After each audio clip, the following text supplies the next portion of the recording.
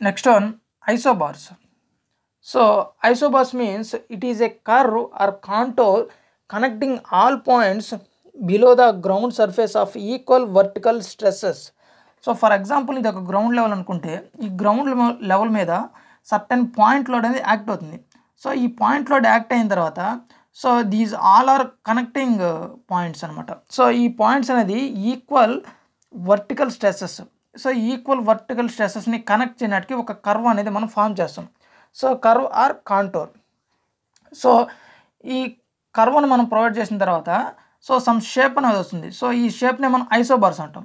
So ఈ different different isobars అనమాట so next one pressure bulb so pressure bulb means the zone of the soil in which there is significance stress is called pressure bulb so ఏదైతే isobar ఉందో ఈ isobar మధ్యలో ఉన్న ఈ stress అంటే pressure ఏదైతే ఉందో దాన్నే మనం ప్రెజర్ బల్బ్గా మనం ఇండికేట్ చేస్తాం.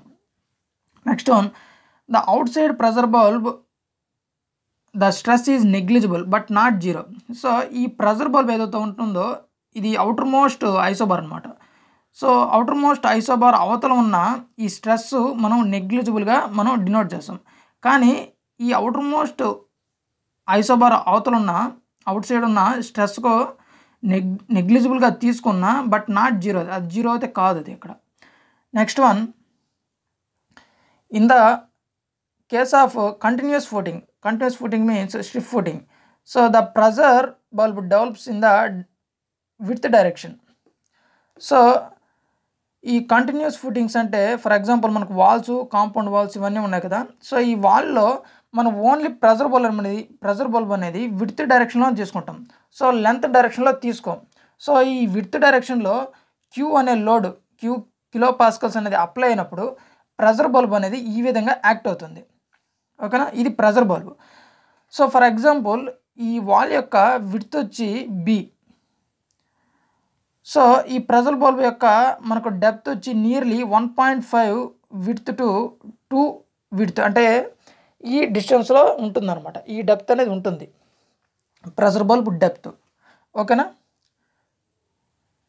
నెక్స్ట్ వన్ ఈ ప్రెజర్ బల్బ్ ఏదైతే ఉంటుందో ఐసోబార్స్ వాటిని సెక్షన్గా మనం చూస్తే మ్యాక్సిమం స్ట్రెస్ అనేది ఎక్కడ ఉంటుందో ఈ డయాగ్రామ్స్ ద్వారా డిస్కస్ చేద్దాం. So for example sigma Z variation on horizontal plane. So ఈ హార్జెంటల్ ఈ సెక్షన్లో మ్యాక్సిమం అనేది ఈ పాయింట్ దగ్గర ఉంటుంది. ఓకేనా? అంటే పాయింట్ లోడ్ ఎక్కడైతే యాక్ట్ అవుతుందో అక్కడ ఉంటుంది. So sigma Z maximum horizontal ప్లేన్లో అదేవిధంగా వర్టికల్ సెక్షన్. సో ఈ వర్టికల్ సెక్షన్లో సో డయాగ్రామ్ అనేది ఈ విధంగా ఉంటుంది. సో సిగ్మా జెడ్ వేరియేషన్ అనే vertical plane passing through load. So passing load. ఇక్కడ మ్యాక్సిమం అనేది టాప్ లెవెల్లో మ్యాక్సిమం ఉంటుంది సిగ్మా జెడ్. అదేవిధంగా వన్ సైడ్ సెక్షన్ తీసుకున్నప్పుడు సో ఈ పాయింట్ లోడ్ అనేది ఇక్కడ యాక్ట్ అవుతుంది. సో ఈ డిఫరెంట్ డిఫరెంట్ ఐసోబార్స్ మనం కట్ చేసినప్పుడు సో మ్యాక్సిమం కనెక్టింగ్ పాయింట్స్ ఏదైతే ఉంటుందో అంటే విడ్త్ డైరెక్షన్లో వన్ సైడ్ సెక్షన్ ఉంటుంది. సో ఇక్కడ మ్యాక్సిమం ఉంటుంది.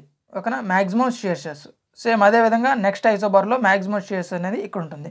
సో ఈ మ్యాక్సిమం షియర్సెస్ కనెక్టింగ్ పాయింట్స్ మనం లైన్ డ్రా చేస్తే ఈ పాయింట్ లోడ్ ఇక్కడ నుంచి సమ్ యాంగిల్ అనమాట బీటా వచ్చి thirty nine degrees eleven seconds. అంటే ఈ యాంగిల్ అనేది ఈ యాంగిల్లో మనకు మ్యాక్సిమం షియర్సెస్ అనేది ఐసోబార్ ద్వారా పాస్ అవుతుంది. ఓకే గస్ ఇది ఐసోబార్స్ అదేవిధంగా ప్రెజర్ బల్బ్ గురించి మనం డిస్కస్ చేస్తాం నెక్స్ట్ వీడియోలో న్యూ మార్క్స్ ఇన్ఫ్లుయెన్స్ చార్ట్ గురించి డిస్కస్ చేద్దాం. Okay guys like this video please like my video and don't forget to subscribe to my channel. Okay guys thank for watching.